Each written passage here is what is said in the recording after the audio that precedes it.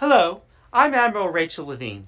This Black History Month, I'm pleased to partner with OMH in advancing better health through better understanding for black communities. I'm a Barbie girl in a Barbie world. Life in plastic, it's fantastic. No, black people don't want your advice on mental health. No.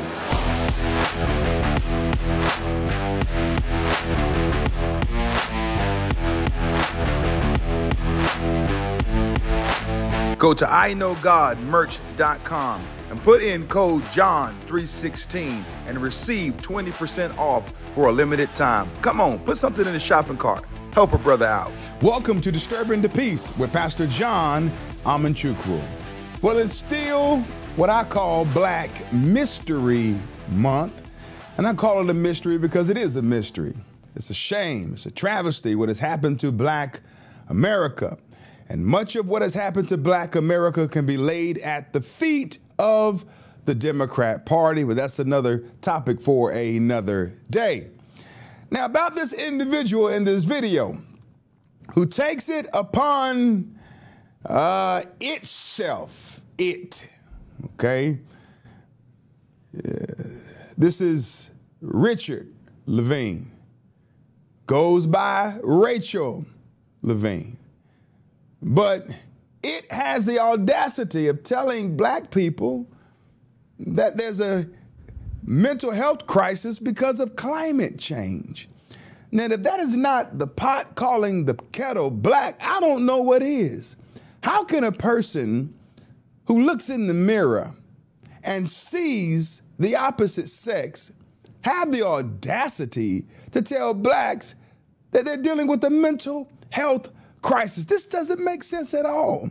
Listen, Richard Levine, I call him not Rachel, not Rachel Levine, became the highest ranking openly transgender government official in the United States history when the bio says she, he was confirmed by the Senate as the 17th Assistant Secretary for Health in March 2021. The bio says her, but his clinical and public health work has helped people dealing with a range of medical issues, including eating disorders, the opioid crisis, and COVID 19. Levine was born on October 28, 1957, to parents Melvin and Lillian Levine. He was assigned male at birth. The bio says she was assigned male at birth. I, I mean, this, I just, let me just, let me just wipe my eye right quick because this is, this is, this is just so sad. It's so sad that this, that this person, this individual, is just lying like this. No goodness world that he was born a male. It says she was assigned male at birth. That's not true. The mental health crisis that we should address today, as relates to this person, ought to be what's going on between Richard's ears. Not so much what's going on with blacks and climate change. That's just a farce in the first place. You know, when you talk about climate change, according to McKinsey.com, it says devastating wildfires, brutal heat, intense hurricanes, and extreme flooding. As a result of climate change, we've seen an increase in the frequency, severity, severity, and intensity of hazardous weather across the United States. The National Oceanic and Atmospheric Administration estimates that between 2018 and 2022, the United States experienced 90 disasters with losses exceeding 1 billion each and total cost exceeding 621 billion dollars.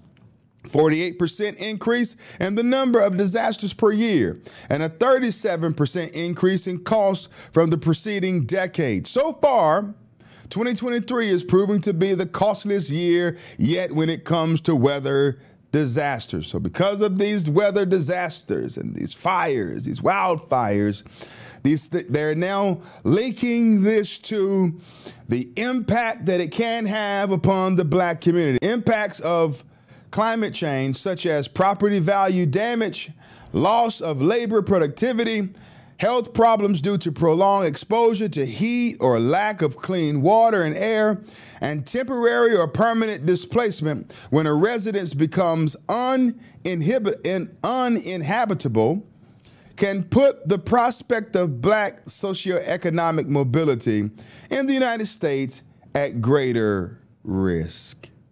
Just listen to that. Let me say that again. The impacts of climate change, such as property value damage, loss of labor productivity, health problems due to prolonged exposure to heat or lack of clean water and air, as if it just got hot yesterday as if it hasn't been hot in America. They will lead you to believe that climate change has something to do with mental health. It has nothing to do with mental health. What this is, this is a failed attempt for the transgender community to now push upon black America a mental crisis that they are having. So, in order to normalize the mental crisis of transgenderism, they must now label blacks as having a mental crisis as well. And do it during and do it during what is called what I call Black Mystery Month or what some call Black History Month. That's the plan. That's the goal. Let's now make the mental illness of transgenderism normal Let's sanitize it by saying that black people are having mental health problems as well. Now, I don't understand why many of your leading voices, people like Joy Reid, people who get on these talk shows, talk about uh, issues pertaining to black America, all of these race baiters and race hustlers, they have no issue with problems like this. They're not going to touch or this issue with the 10 foot pole. They're not going to address it. Why? Because it's a white, liberal, man who thinks that he's a woman talking about black America and they say nothing about it. Take a look at this footage. Climate change is having a disproportionate effect on the physical and mental health of black communities. How dare you? How dare you, Richard? Climate change is having a negative impact upon black Americans. How, how dare you? How low down can you be? I hear what you're trying to do. You want to link us to the mental health issue that you're contending with as it relates to gender dysphoria. You are low down, low down. Climate change has nothing to do with what's going on as it relates to black America and their mental health, climate change has nothing to do with that. The mental health problem that's taking place in this country is gender dysphoria, not because of climate change. It's people like you who hide behind trying to become a protected class,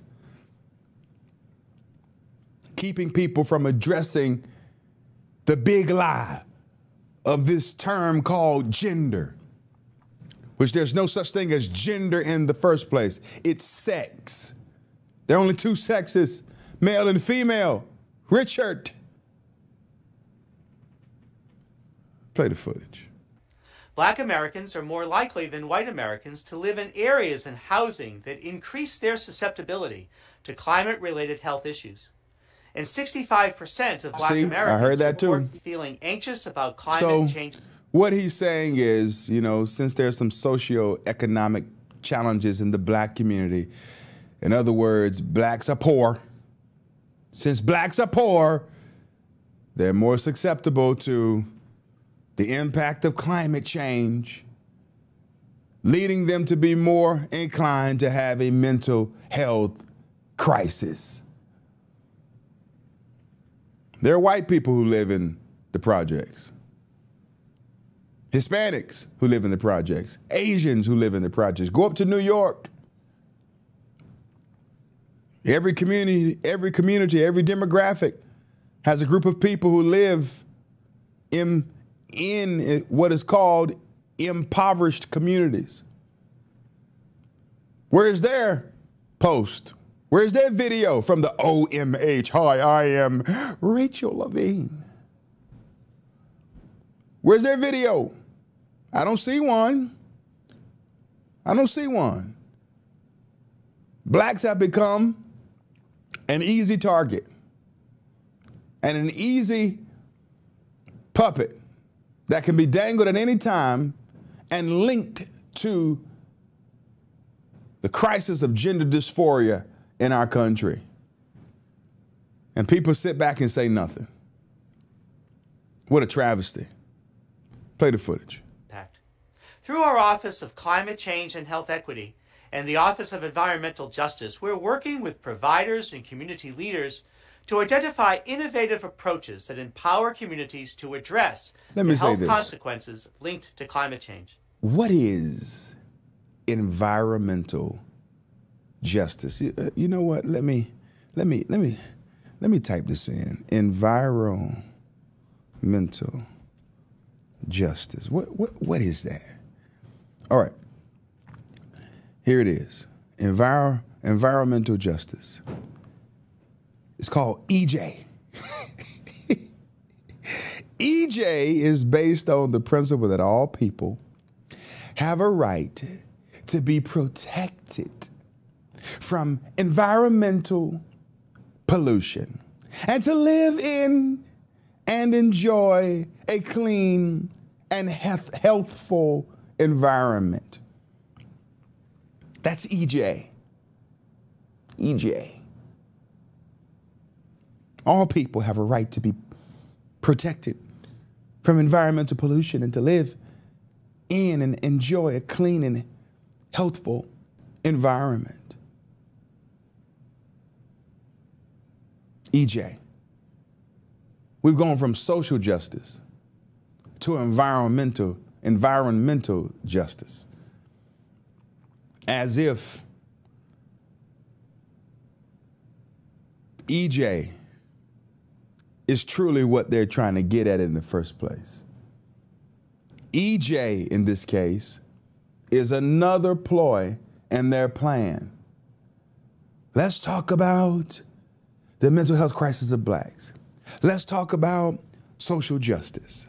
Let's talk about critical race theory. Let's talk about intersectionality, different levels of oppression. Now let's talk about EJ, environmental justice. Well, at the same time, we're really trying to set things up so we can become a protected class and, you know, um, make it normal for students to learn about transgenderism and to be lied to at school. We must find a community that we can easily diminish. Hmm, let's use black people. Because by and large, black people vote for the Democrat Party. Even when we say negative things about them, they're not smart enough to read between the lines and know what we're saying about them. Let's just call it EJ. Because if you put justice at the end of it, it just makes it more sexy, like reproductive justice.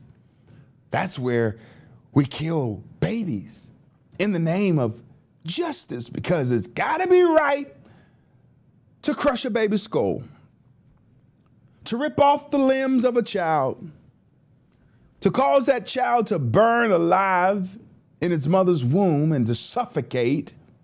Oh, it's got to be acceptable if we put justice at the end of it. Because things are just just because we attach justice to it.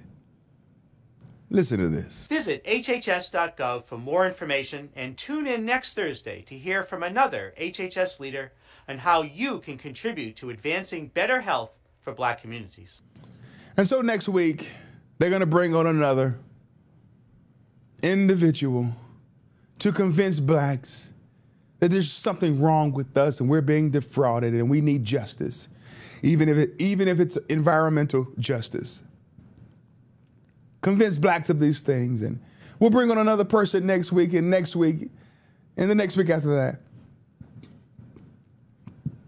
with the intent of making blacks think that we've done something to help them during Black History Month. And we have improved the plight of blacks while at the same time diminishing blacks, using us as the stool as we prop up transgenderism. I'm not buying it. What about you? Post your comments in the comment section.